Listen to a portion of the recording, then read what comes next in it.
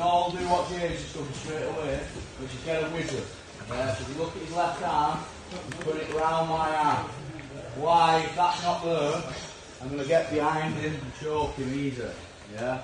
So he has this whizzer wrapping around my arm, stops me getting to his back. So now I need to beat that. Yeah? So the first option, the leg that's furthest away from him, I'm going to come up on my foot.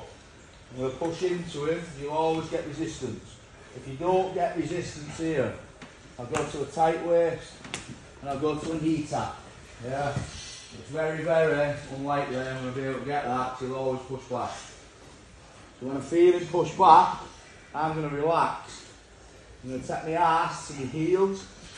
I'm going to switch my knees and pull my head out so I can look across his back. Now I can rotate and now I'm in a position to attack his back. Yeah. This is absolutely fine if this is the only one you want to do. This is a solid drill for this position anyway. Yeah. Back foot up, push. As he pushes back, I relax. I move my ass back to my heels, switch my knees and pop my head out. Then I can go to a body. Yeah.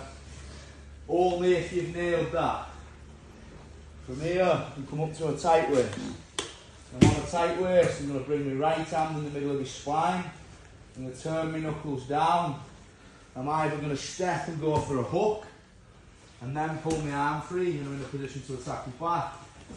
Or, if I don't feel like I can get that hook, for whatever reason, I put my hand in the same position, and I just block his kick instead. Now I can do the same palm, and now I might just need to put my knee under his rib instead, and attack the back from there. Yeah? You've got three options. You've got one, single, up on the outside foot, push, relax, pop the head, body lock. We've got single leg to tight waist, base, knuckles down in the middle of the spine, get the hook, limp arm. Three, single to tight waist, knuckles down middle of the spine, block the far hip, limp arm.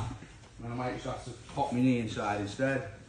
and I can go straight into my seatbelt attached. Yeah? One to three, do them all. If you can, if you can't, just nail that first one.